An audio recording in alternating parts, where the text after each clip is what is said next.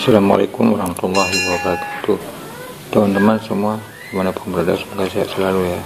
Kali ini saya akan membagikan sebuah tip ya Dalam menggunakan Android. Jika kita menggunakan Android Salah satunya kita menggunakan Youtube. Pasti di kolom pencarian tuh kita mengerti ya sesuatu apa yang kita mau cari ya.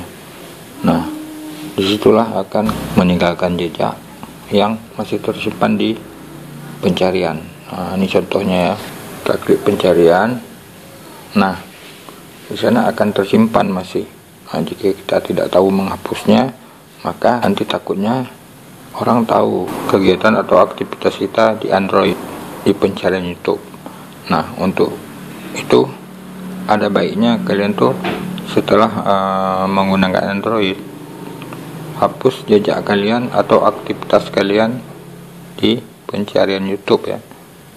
Kan nanti uh, apa ya ada privasi juga di sana kan kita tidak mau apa yang kita cari itu orang tahu nah, setelah anda menggunakan bagusnya anda menghapus semua jadi jika ada yang melihat atau menggunakan Android kita jadi mereka tidak tahu aktivitas kita tuh di YouTube Nah, cara menghapusnya adalah nah ini salah satu hasil yang sudah kita ketik ya. Nah, di sini ini banyak nih.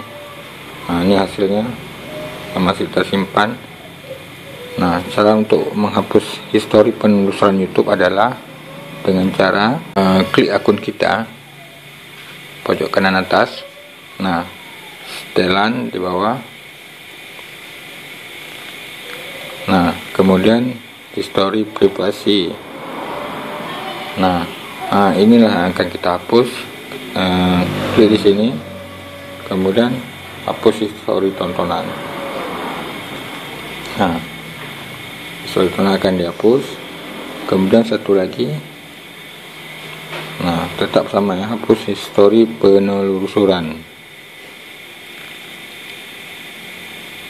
Nah sudah selesai. Begitulah caranya. Sekarang kita lihat di pencarian YouTube masih ada tersimpan atau tidak.